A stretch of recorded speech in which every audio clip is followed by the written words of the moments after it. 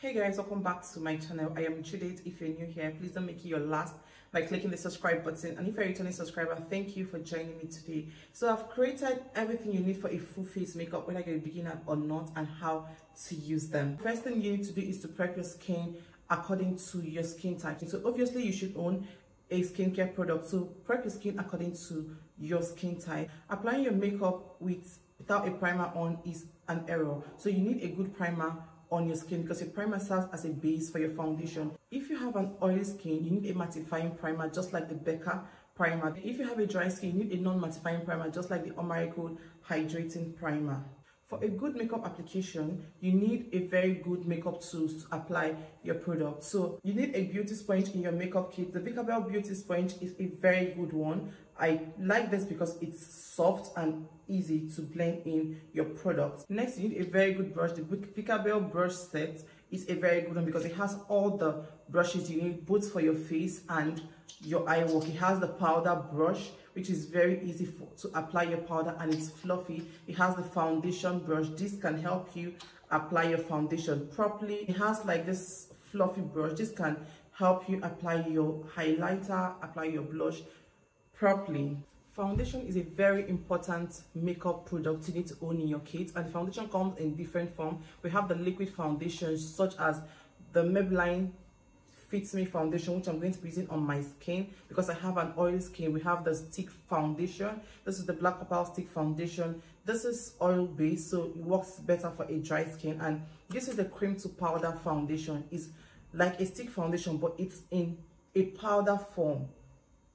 When you apply it, it just dries out and turns into a powder just get a foundation that works with your skin type if you have an oily skin it's better you opt for the liquid foundation that is water based. If you have a dry skin the stick foundation works perfectly well because it's oil based. Uh, and if you have an oily skin the cream to powder foundation works perfectly well too. So if you have a combination skin there are foundations that are not dry and not matte and not oily at the same time. So you just get whichever one that works for you. When applying foundation you want to start with small amounts to avoid cakiness because once you apply so much product it's difficult to blend and it tends to cake.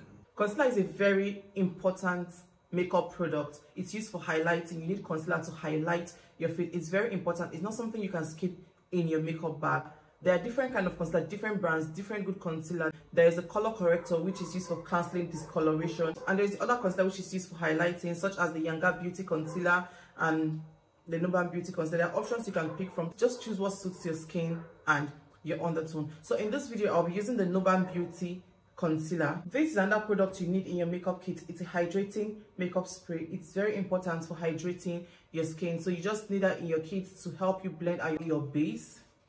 So I'm just going to spray this on my beauty sponge to help me blend out my base properly. So we're going to go ahead to contour the skin. Contour comes in different types. There's cream contour, there's liquid contour, and there's powder contour. So just opt for what works for you and which is better for you. But in this video, I'm going to be contouring my face with the liquid contour. And for that, I'm going to be using my foundation. This is the Maybelline Fits Me foundation in 370. This is like three shades or four shades darker than I am. So if you have a dry skin, a cream contour works better because it's oil infused or if you have an oily skin a powder contour or a liquid contour works better for you. So which way you prefer just use what works for your skin type. This is best blend with a beauty sponge or a brush. Just apply it in little quantity so when you're blending it's easy for you to blend out. Next we're going to blush the face to add color and warmth to the face. So you need a blush in your makeup kit. Very important. And this is where it gets interesting yeah? Because the blush comes in two different types. A powder blush and the cream blush. And for your powder blush you can use your eyeshadow as a blush. So you can actually get a blush palette but if you don't want to or don't have a blush palette you can use your eyeshadow palette. Or if you want to use a cream blush and you don't have like a cream blush you can use your lipstick or your color corrector as the blush. I'm going to be using my lip eye magic lip palette. This is the shade. This is the shade I'll be using to blush my face. So I'll be using this brush from Vika Vicabel to blush my face. The Vicabel brush, like I said earlier, has everything you need. So I'm just going to place this on my skin and blend that in. Just make sure it sits into my skin. You can go ahead to set each step of your makeup, especially if you're doing your skin first. So this is it. It just sits into your skin and give it a natural finish. You need a setting powder. It can be a normal setting powder or a translucent powder. So the nuban beauty alabaster is one of my favorite translucent powder to use. There is other one you can use the laura mercier very nice the chanel very perfect for you. So just make sure using a setting powder that is your shade. But before i set under my eyes with a setting powder i like going into my under eyes with a pressed powder first before setting with a setting powder when setting your under eyes, you can use a beauty sponge or a brush.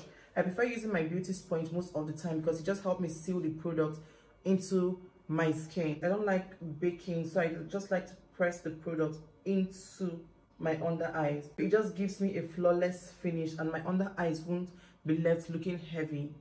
Another very important product you need in your makeup kit is the pressed powder. When opting for a pressed powder, it's better to use a powder palette like the La Vida Amanda powder palette. This is one of my favorite powder palettes because it, you have options like you have a shade to contour with you have a shade to set under your eyes you have a shade to use to set all over your face. And when applying just make sure you take little quantity because you don't want to pack product on your skin and make your makeup heavy or make your makeup crease. The next you need a brow pencil in your makeup kit very important. Somehow i ran out of my brow pencil so i'll be using this tiny one that is remaining. If you're like me that love your brows natural just outline your brows and fill it in with a very light stroke. But if you love your brows really defined then you can do that. But if you want to really define your brows then it's better to do your brows before your skin work. That way you have your brows really defined and popping. But me i love my brows looking really natural. Like this i'm very comfortable and i'm okay with my brows. In your makeup kit you need an eyeshadow base and an eyeshadow. So you can use a base such as the Tara eyeshadow base. And for your eyeshadow you can just get like one eyeshadow palette. This is the beauty glazed color studio eyeshadow palette. So you can get like just one eyeshadow palette. As a beginner this really works. You can use this to create as much look as you want I'm just going to start off my base on my eyelid and make sure my base is well blended before going into it with my eyeshadow. You need a gel liner in your makeup kit and not just a gel liner, a good gel liner. You can opt for a pencil or a gel liner, whichever one you prefer that works for you, but I prefer a gel liner. So you can get as many colors as you want, but black is really essential. So this is a must have in your kit. So I'm just warming up the face more with a powder blush. You need a good setting spray and a finishing spray in your makeup kit, such as the Nuban Beauty setting spray. This is a very good setting spray. It just brings the makeup together and make into one layer. When you're spraying, just take far away from me and just spray it on your face like this.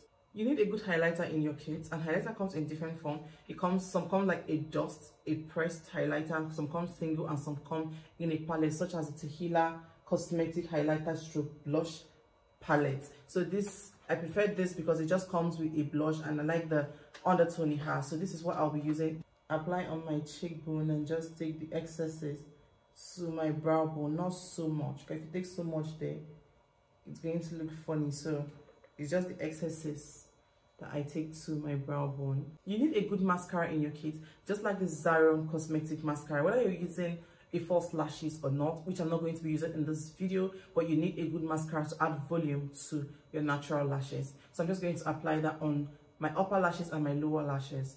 In your makeup kit you need a lipstick a lip liner a lip gloss everything for your lip. So i prefer to use my lip palette. This just gives me everything i want. I'm a nude lip girl so this does it for me all the time. So i'm going to use the brown in the palette to line my lip and the nude or the pink and the palette inside my lip.